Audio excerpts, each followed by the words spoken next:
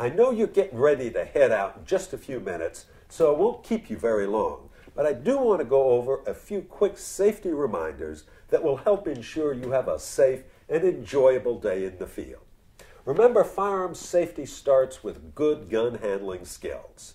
First, the only time your shotgun should be loaded and the action closed is when you're in the field and actually hunting. At all other times, whether you're watching that dog retrieve a bird, you stop for a break, you're heading back to the lodge, be sure the first thing you do is open your gun, unload it, and leave that action open. If you end up using a loaner gun and you're not that familiar with it, be sure to talk to your guide about how to safely load and unload the gun and the location and operation of the safety switch. Second, muzzle control.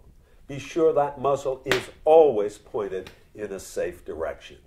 Remember, good gun handling skills are something you have to think about every step of the way. As you get ready to head out, a few quick reminders. Hunter Orange, a must. Eye and ear protection, highly recommended.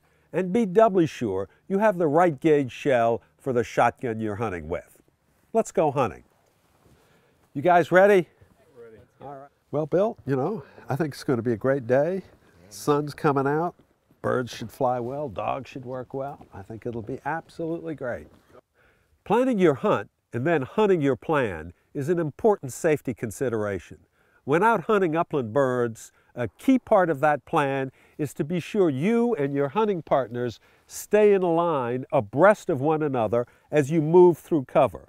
By staying in a straight line, each hunter will know exactly what his safe zone of fire is at all times. Now for the hunter in the middle, that safe zone is sort of an angled cone pretty much in front of me, never swinging too far right or too far left. Now the hunter on the left can swing a little more left, the hunter on the right a little more right. Remember, if you don't know where your partners are or your guide, never take a shot because you won't know what your safe zone of fire is. When you're out in the field with a loaded gun, be sure to keep your finger off the trigger and don't push that safety off until you've seen that bird and know you have a clear shot. It's important to know not only where your partner is, but also where that dog is. That dog almost always will be wearing a bell, so listen to the bell if you can't see the dog. Remember too, if a bird gets up low, don't take that shot because that dog's just under it. One of the most important things you always have to keep in mind is keeping that muzzle in a safe direction. Your bird, your bird, your bird. Nice shot, Doug. Well, you know, Rick, that was a, a, good, clean shot moving off to my right. But you know, one of the things out here, you never know which way a bird might fly. And sometimes they'll take off too low, they'll be too low to the dog. Never take that shot, you know. There are lots of birds out here. Never take the risk of getting that low bird. When hunting in heavy cover like this, it's doubly important to keep track of where your hunting partner is. Where you at, Doug? I'm right over here. Gotcha. Remember, if you don't know where your partner is, you can't take a shot. He was down in there. When moving through steep or difficult terrain, it's easy to get off balance. So don't take that shot until you're in a good, steady position.